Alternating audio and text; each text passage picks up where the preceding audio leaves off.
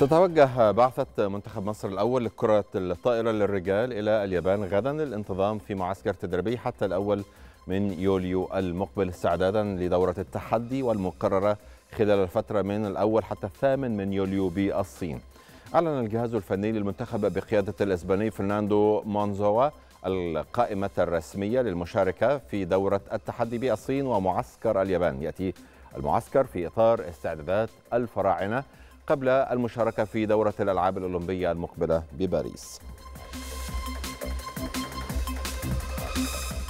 تنطلق منافسات بطولة الفراعنة الدولية للجمباز الإيقاعي في الثامن والعشرين من يونيو الجاري حتى 30 بأستاد القاهرة الدولي يشارك في البطولة 250 لاعبا من 18 دولة حيث تعتبر سلسلة بطولات الفراعنة الدولية التي تنظمها مصر بجميع فروع الجمباز تعتبر واحدة من البطولات الدولية التي تحرص جميع الدول والمنتخبات على المشاركة بها ذلك بعد نجاح النسخة الماضية من البطولة.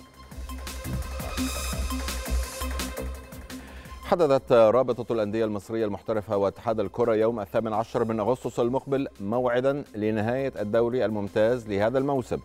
أعلنت الرابطة عبر الصفحة الرسمية مواعيد آخر أربع جولات من عمر المسابقة فيما تبدأ منافسات الجولة الثامنة والعشرين يوم الخميس المقبل.